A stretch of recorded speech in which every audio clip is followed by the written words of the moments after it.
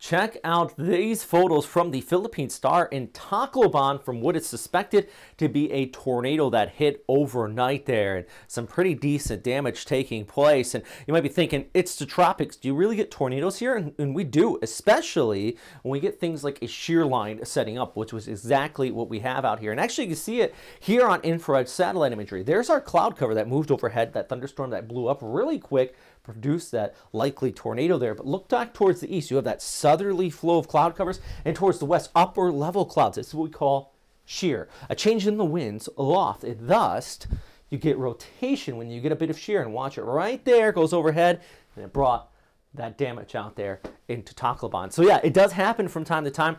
And the leading edge of these cold surges, this is one reason why we do call them shear lines, because sometimes they do kick up some pretty potent thunderstorms. They can be quick and gone, uh, unlike tropical systems, which linger over a long period of time. So thank you very much for everyone sharing those photos. Incredible stuff out there. All right, here's a tropical wave towards the south and east of Guam. And I'm sure that's the thing a lot of people are very curious about. And then you have your cold surge and your shear line back towards the east, which is just still dominating out here in the Philippines. Look at that along that shear line, though. You got all those showers kicking up, up along it. Uh, overall, though, that tropical wave is going to move towards the west over the course of the upcoming week. And later this week and the early next week, this is the area to watch. Basically, south of Guam, maybe even out here into the Philippine Sea. From PAGASA, they actually have stated there's a low pressure area for a potential from the 12th into the 18th as well. Now I'm using a lot of possible, a lot of watch, a lot of potential phrases here. Nothing, I'm not at all in this video saying there will be a tropical system hitting the Philippines, Guam, or anywhere in between. I want to make that clear, but this is a first look. And I'm going to show you some of the guidance and some of the reasons why we're looking at this for the possibility of a tropical system. Now, first and foremost, you have to watch this area out here. Right now, it is a loose area of convection, and models really are not going to get more concrete until we get a defined center of circulation.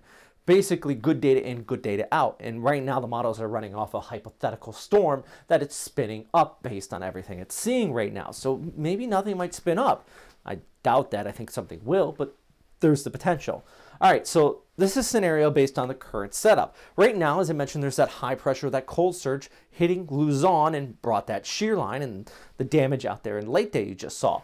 Well, that high pressure, if anything develops south of that, is going to keep it on a westerly projection because storm systems don't want to run through a high. But there is that trough back towards the east, the cold front that kicked off that high moving towards the south, and that would pull our storm closer to Guam. It all depends on where it forms and what about the time is and when that trough, where that trough is when it passes on by. But for example, the European model actually poses the storm closer to the Philippines. This is a model. This is an ensemble outlook from the Euro. And then I'll show you the winds from the GFS. Shows more of that trough coming on by right there. And it pulls it off towards the north, towards Guam and the Mariana Islands. Big difference here.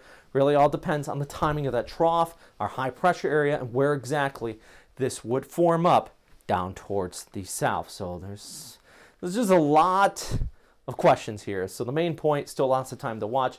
Uh, need the development of a low pressure area coming in out of the tropical convergence zone. And storms this time of year are not unheard of. A few people said they never happen in the dry season in the Philippines. We had Super Typhoon Maysak on this date six years ago. It was a super typhoon. You don't don't get in that mode that says I, it never happens. The, there's a reason why there is no end to the tropical season in the Western Pacific.